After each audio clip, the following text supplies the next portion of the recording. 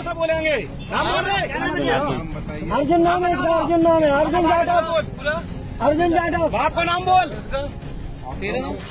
संतोष बाप को नाम? बाप को नाम बता। केवट संतोष केवट के पिता के पिताओं का नाम।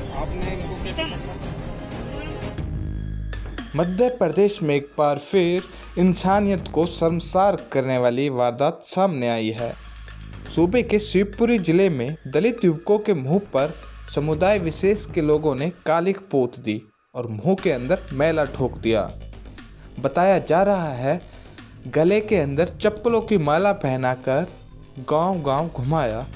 आपको बता दें, पुलिस ने दोनों युवकों के साथ किए गए अमानवीय व्यवहार और उनके साथ मारपीट करने के आरोप में अल्पसंख्यक समाज के सात लोगों के खिलाफ मामला दर्ज कर लिया है।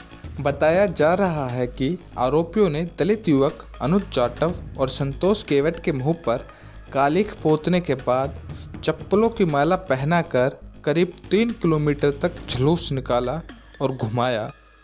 पीड़ित के भाई ने जयचंद जाटव ने समाज के बड़े बुज़ुर्गों को साथ लेकर पुलिस अधीक्षक कार्यालय पहुंचकर ज्ञापन दिया।